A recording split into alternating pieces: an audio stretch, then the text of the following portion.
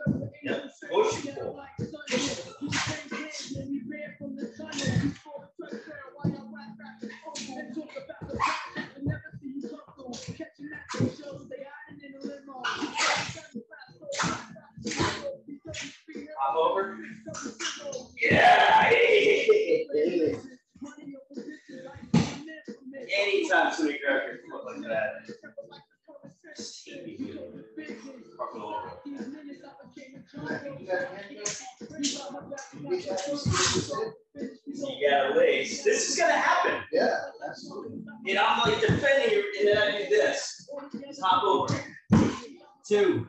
And now you're it should be done at that point. Like when you do that to somebody, it's like you own them. Like to me, that's a cheat code. It, it really is. Like people think that's why I I, I would never grab a foot. Well, not, I will with you. You didn't know. Now I won't. If you're gonna do that. Well, now I'll grab it and see if you do it. Same thing here. Um, you get the lace. You start standing up, coming up with it. Well, you don't. But if I grab this, you can also fall back that way.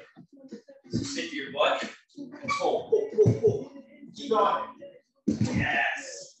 So that's the other thing. You can almost bait the person to grab your ankle.